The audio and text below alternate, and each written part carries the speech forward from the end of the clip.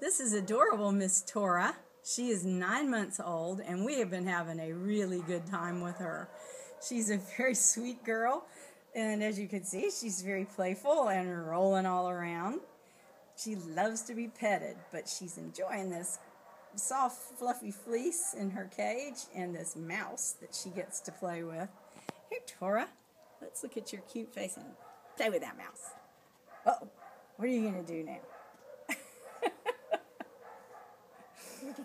Okay, you're just the cutest thing. You're too cute. Little Miss Tora. This was the first day we've seen her, and we've been having a lot of fun with her because she's so cute. Give us that cute face. Yes.